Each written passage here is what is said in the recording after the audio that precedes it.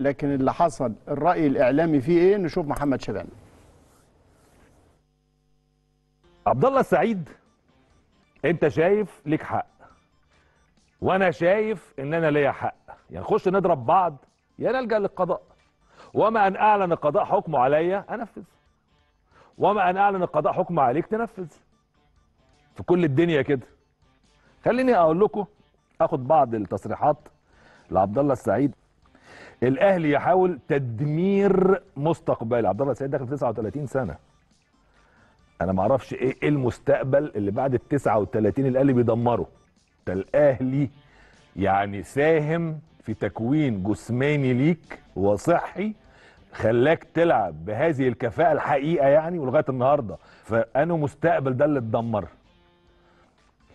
كمان عبد الله السعيد قال الأهلي يعتقد أنه يتحكم في اللاعب كما يشاء.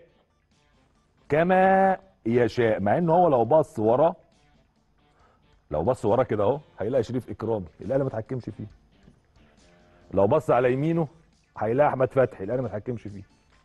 كمان بيقول لك إيه؟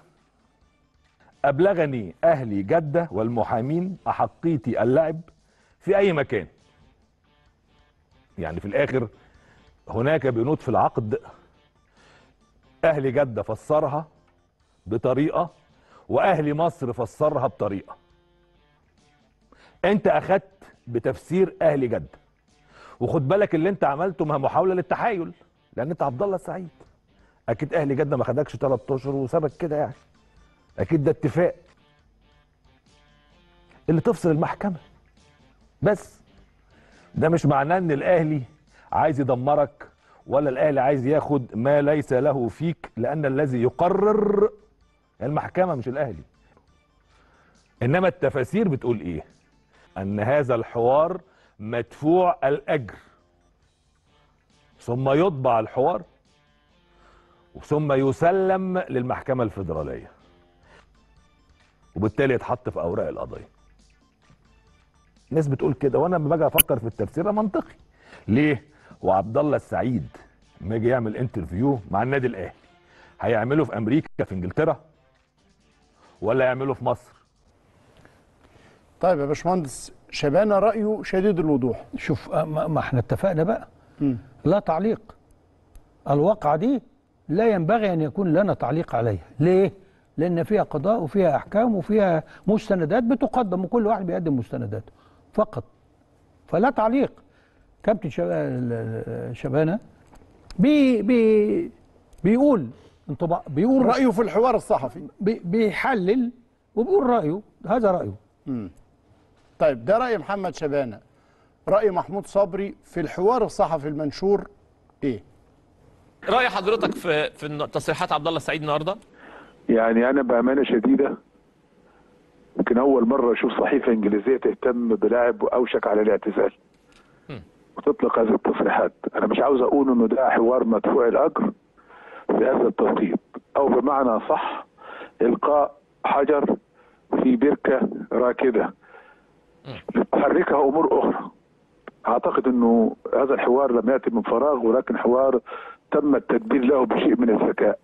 وإطلاق تصريحات هدف منها مش النهارده. الهدف منها رسائل لجهات أخرى.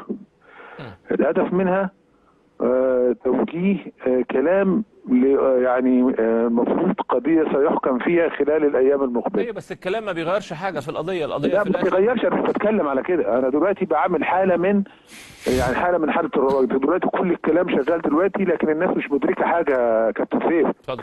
انه النادي الأهلي بيسير في في أطر قانونية. آه. قلما ولا نادرا ما تجد مسؤول في الأهلي يخرج ليتحدث عن لاعب كان عنده أو لاعب تعاقد معاه أو في مشكلة. أكيد صح. هناك من يتلاعب بالساحة الرياضية من خلال أكونتات مضروبة عليها شعارات الأهلي ولكن تخفي من ورائها شياطين الإنس. آه. أحمد كابتن عبد الله السعيد من حقه يقول زي ما هو عايز لكن أن يلقي يعني يجري حو- أن تجري معه حوار صحيفة إنجليزية في لاعب كلها بضعة أيام شهور سنة سنتين ويعلن اعتزاله لا الأمر برضه مش من فراغ. لا الأمر وراءه شيء غريب جدا. صح الأمر لا يحركه لا, لا نغير في القضية شيء أو لا نغير لكن برضه أمر مدروس. يعني اذا كان ما بيقولوش ما بيتكلمش مع الصحافة الم- المحلية الوطنية. وأنا أتكلم وأنت تعرف انك أنت لو قعدت معاه يوم كامل عشان تفوض تاخد منه عنوان واسالنا على عبد الله سعيد وإحنا نقول لك. سنين صح. تلاقي نادر ما تلاقي له حوار ونادر أيوة. ما تلاقي له تصريح. فيجي النهارده آه. يتهم النادي الاهلي والاهلي عاوز يبطلني. كلام غايه الخطورة وما يصحش. لو أنت فعلا عاي- آه اللي. نصحك اللي نصحك إنك تجري حوار منهي على فكرة ظلمك. نفس الشيء. إحنا بنعرض بدون تعليق آه، في قضية ما يعني أنا ما يعني عشان بس اتقالت ف- آه، يعني أحلى حاجة إن النقاد هم اللي يقولوا رأيهم. إنما إحنا بالنسبة لنا لا تعليق. نشوف أحمد حسام ميدو عن عبد الله السعيد برضه.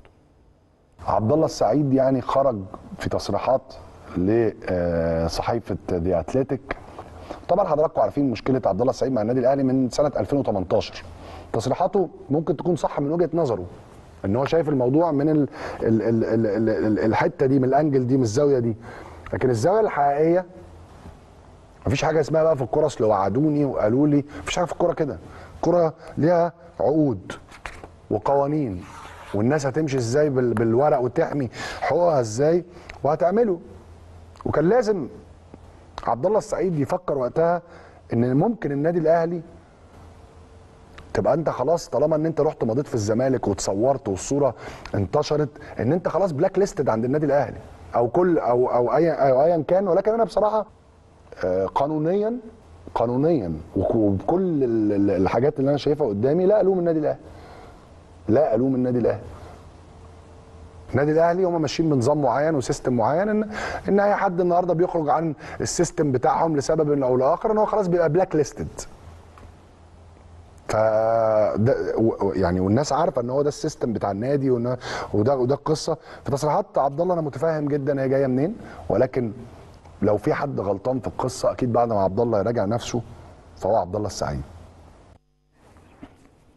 ده رأي واحد آه، لعيب كبير آه، في موقف احترافي وهذا رأيه وإحنا اتفقنا مش هنناقش الأمر هنا.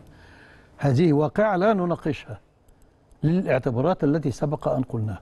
بنتركها الرأي العام يفهمها الأمر معروض أمام الفيدرالية السويسرية النادي الاهلي كان طعن أمام الفيدرالية ضد الحكم الصادر عن المحكمة الرياضية الدولية والاهلي أخذ حكم هنا من مركز التسوية الجهة الرسمية المنوط بها فض المنازعات الرياضية ومن ثم أيضا أخذ حكم بالحجز على أموال عبد الله السعيد للإيفاء بالقيمة المنصوص عليها في العقد وهي 2 مليون دولار. إلى هنا دي ابعاد القضية لكن هذا الحوار اللي نشر في أحد المواقع الأمريكية بالمناسبة مش هي ذا أتلتيك ال- البريطانية لا هو أحد المواقع الأمريكية الص- الصغيرة. لكن من الواضح جدا إنه ده كان جزء من التكتيك بتاع المحامين ال- علشان فضل زهران محامي آه، آه، عبد الله السعيد يبدأ ياخد جزء هذا الحوار لتدعيم أو ما يظن إن هو بيدعم موقفه أمام الفدرالية السويسرية. عشان الأمر منظور قضائيا بنكتفي بهذا الإيضاح ونطلع لفاصل.